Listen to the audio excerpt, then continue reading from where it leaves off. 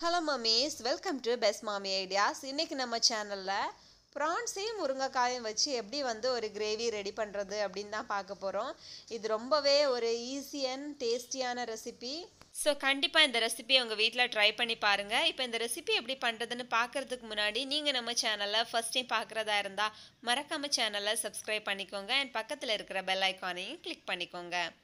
இப்போ இந்த ரெசிபி பண்ணுறதுக்காக ஒரு பேன் எடுத்துக்கிறேன். பேனில் வந்து தேவையான அளவு ஆயில் சேர்த்துக்கலாம்.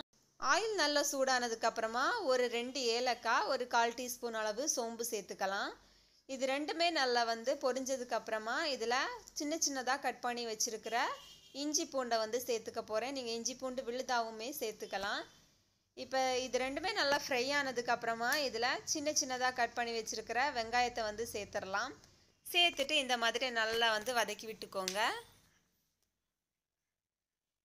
இப்போ இந்த வெங்காயம் ஓரளவு வதங்கினதுக்கு அப்புறமா ஒரு காஞ்ச மிளகாவை வந்து சின்னதாக கட் பண்ணி சேர்த்துக்கலாம். கூடவே கொஞ்சமாக கருவேப்பிலையும் சேர்த்துட்டு இதை வந்து நல்ல ஒரு பொன்னிறமாக வர்றது வரைக்கும் நல்லா வந்து வதக்கிக்கலாம்.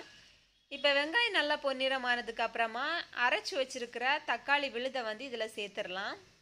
சேர்த்துட்டு இதில் உப்பும் வந்து தேவையான அளவு சேர்த்துக்கோங்க. இப்போ இதோட பச்சை வாசனை போடுறது வரைக்கும் நம்ம வந்து நல்லா வதக்கிக்கலாம். இப்போ ஒரு ஃபைவ் மினிட்ஸ்லேயே பார்த்தீங்கன்னா இதோட பச்சை வாசனை எல்லாம் போய் எண்ணெய் வந்து நல்லா பிரிஞ்சு வந்திருக்கு. இப்போ இதில் நம்ம ஸ்பைசஸ் எல்லாம் ஆட் பண்ணிக்கலாம். ஒரு கால் டீஸ்பூன் அளவுக்கு மஞ்சள் தூள் ஒரு கால் டீஸ்பூன் அளவுக்கு சீரகத்தூள் ஒரு டேபிள் ஸ்பூன் மிளகாய் தூள் ஒரு அரை டேபிள் ஸ்பூன் கரம் மசாலா. இது எல்லாத்தையும் சேர்த்து நல்லா வந்து வதக்கி விட்டுக்கலாம். இப்போ ஒரு ஒரு நிமிஷத்தில் இதோட பச்சை வாசனை எல்லாம் போய் நல்லா வந்து வதங்கி வந்துருச்சு. இப்போ இதில் நம்ம கட் பண்ணி வச்சுருக்கிற முருங்கைக்காயை வந்து சேர்த்துடலாம். சேர்த்துட்டு இது எல்லாத்தையும் சேர்த்து ஒரு வாட்டி மிக்ஸ் பண்ணிக்கோங்க. மிக்ஸ் பண்ணிவிட்டு இதை ஒரு மூடி போட்டு அடுப்பை வந்து லோ ஃப்ளேமில் வச்சுட்டு ஒரு ஃபைவ் மினிட்ஸுக்கு வந்து நம்ம குக் பண்ணிடலாம். ஸோ இப்போ ஃபைவ் மினிட்ஸுக்கு அப்புறமா நம்ம இதில் ப்ரான்ஸ் வந்து ஆட் பண்ணிடலாம். க்ளீன் பண்ணி வச்சுருக்கிற ப்ரான்ஸை வந்து சேர்த்துடலாம்.